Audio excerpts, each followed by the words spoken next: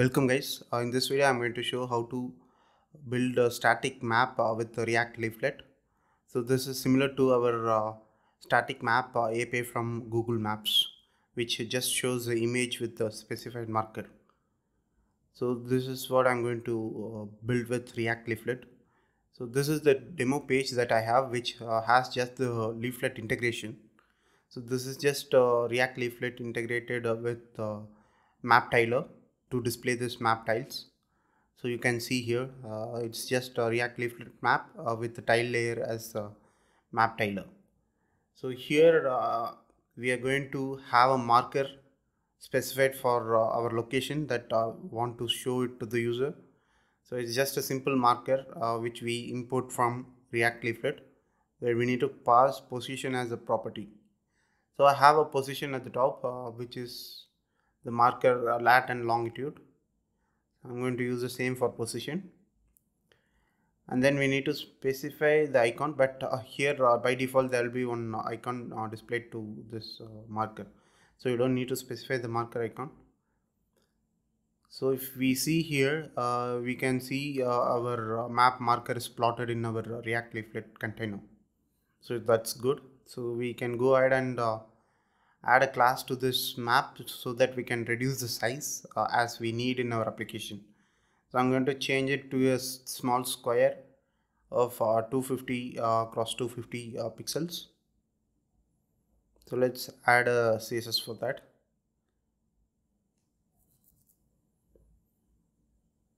So if you really want to have this as a dynamic component, uh, then you need to pass this width and height as a props to this comp that component. And uh, you can uh, make it as an inline style and pass those uh, height and width uh, parameters. So if you see our uh, map tile size has been reduced. The container has been reduced.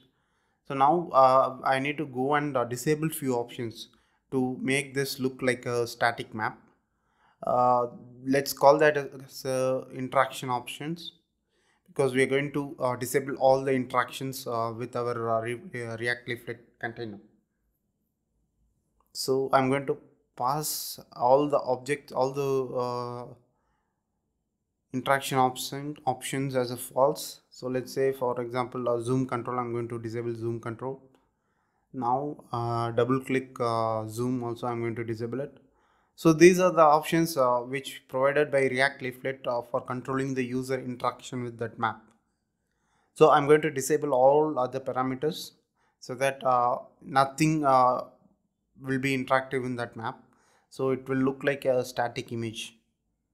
So close pop-up on click false. Dragging, we cannot drag and uh, pan to other location. Zoom, snap.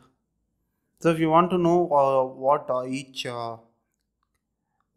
options do does here. Uh, you can go and check in uh, react leaflet or leaflet uh, documentation for the same. But uh, to make this happen we need to disable all these uh, options. So like track resize touch zoom. And then uh, finally we need to disable the scrolling mouse wheel zoom so this also will uh, make this as false then we pass all these options as a property to our map uh, container. It's a map with that we imported from uh, react leaflet package. So i'm going to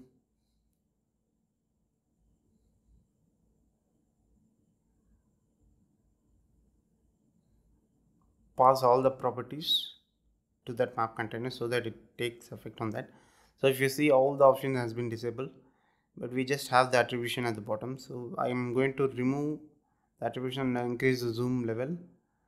So by default only leaflet uh, will be displayed as attribution. So this is how we want uh, uh, this looks exactly like a Google static map uh, API so if you want to use it in multiple places you can say copy this or you can make this as a separate component and use it in uh, the in your application Thank you guys.